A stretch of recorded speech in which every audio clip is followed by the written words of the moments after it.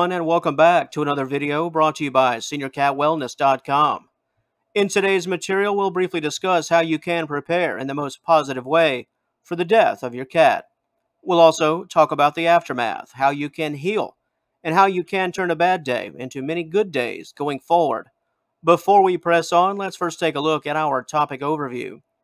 Treat the sudden loss of a cat the same way you would a human death. Say goodbye Acknowledge your grief and allow yourself to feel sad. At the same time, focus on the good times you spent with your cat. Seek support from friends, family, or counseling groups. Also, consider donating to a cat shelter in memory of your cat. Before we continue, it's quite important to address the obvious. How can you prepare for your cat's death if the death is sudden and unexpected? Well, you can't. The core of this topic leans more to situations where your cat has been given a terminal diagnosis, or a situation where you have a very old cat and the realization has set in that the end is near. In those scenarios, you could either have days, weeks, or even months to prepare.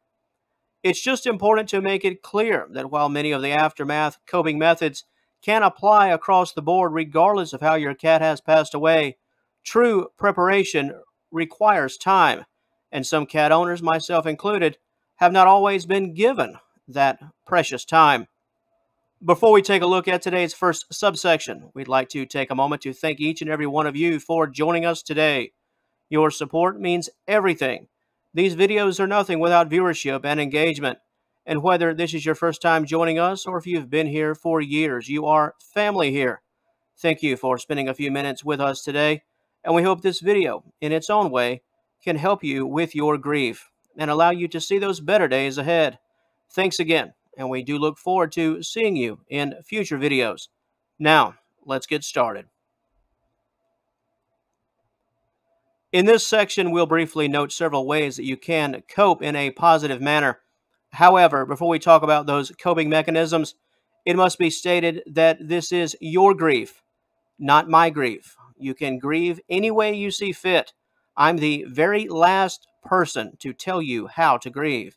Your grief is not my grief, so please take everything you hear today as friendly and respectful advice, and nothing more.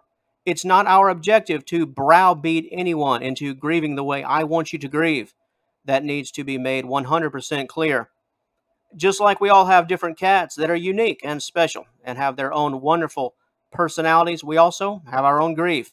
And what gets you through those dark days might not work for the next person. This is advice, and it is nothing more. The first suggestion that we offer is to acknowledge your grief. On screen, you can see the five stages of grief.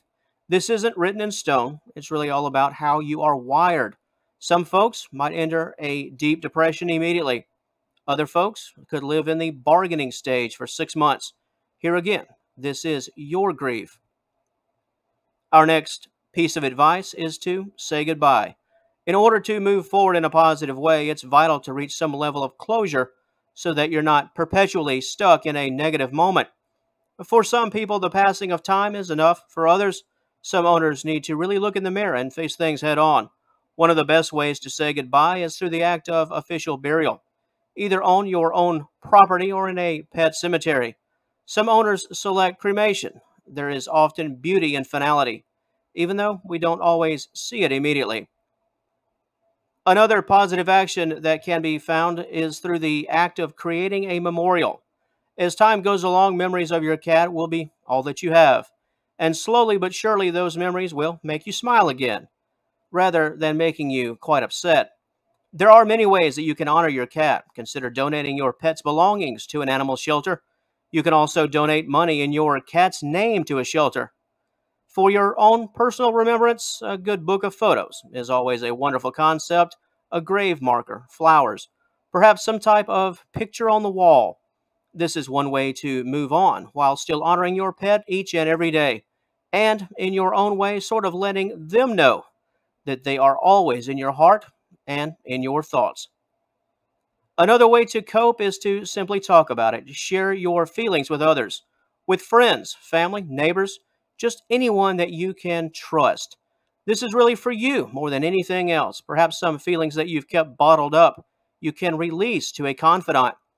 If your listening ear is someone who actually knew your cat, well, that's even better. And finally, distract yourself. Life goes on, and that's a beautiful thing, a wonderful thing. Here again, time naturally has a way of pulling you out of grief. The world doesn't stop for your grief, and that is a blessing in the big picture. Distract yourself. As soon as you're ready, get back on the ball, get back to living, get back to making the most of your life, both personally and professionally. This isn't selfish, it's just reality. Once you feel that you're ready to take the next step, then by all means. There is no right way to grieve, only positive advice and suggestions that can help. It can't be stressed enough. Your cat is your cat, and your grief is your grief. As a cat owner, I can simply say that I've dealt with the sudden loss of a cat, and I was given roughly 48 to 72 hours to prepare for the death of another. Both hit me in very different ways. The sudden death event took the life of my five year old feline. The adventure ending, winding down of the grand journey, claimed the life of my 20 plus year old cat. Very different stages of life, very different endings to life. I use my personal example to say that not everyone grieves the same. And even within our own grief, different situations can prompt different forms of grief.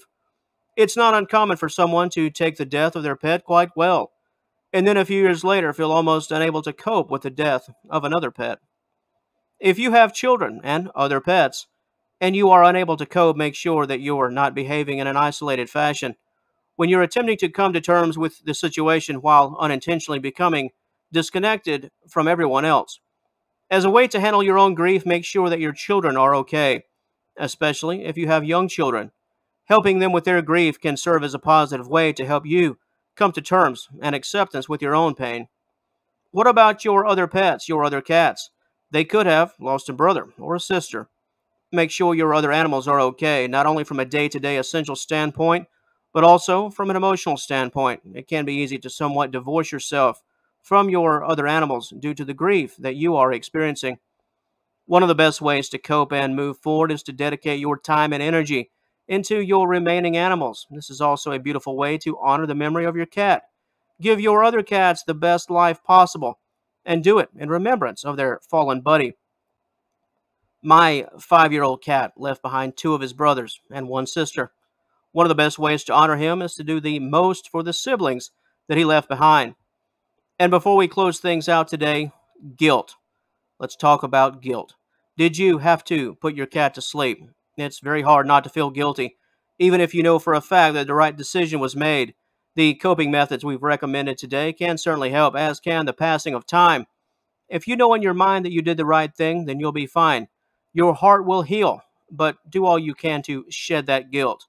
In many cases, if we are honest with ourselves, the guilt is born out of selfishness, the desire to have your cat back with you. But if you did the right thing, especially upon vet recommendation, then allow time and coping outlets to help you to release that guilt. It's hard to see it at the time, but there are indeed worse things than death. Allowing your pet to suffer is not love. Sometimes love comes in the form of letting go and saying goodbye. And on that note, that will close things out for the video portion of today's material. However, if you'd like more concerning this very important and relatable topic to many, many, many, we do invite you to visit us at seniorcatwellness.com at the conclusion of today's presentation. There you will find a full length and high quality article dedicated to everything that we've talked about today and so much more. We hope you find the written material to be informative. Are you currently watching us offsite? If so, we do encourage you to click the initial link in the description box below said link will take you to all of the information. And until our paths cross again, and I certainly hope they do, we'd like to thank you once again for joining us today. Please have a wonderful day. All the best to you and yours, and we will talk to you later.